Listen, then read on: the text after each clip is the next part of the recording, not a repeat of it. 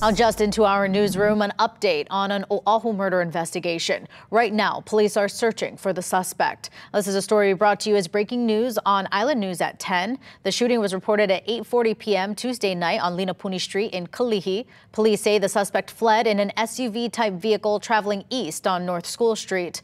Police also say the suspect and victim knew each other, and this was not a random act. According to paramedics, the 23-year-old male victim was treated at the scene with advanced life support for multiple apparent gunshot wounds.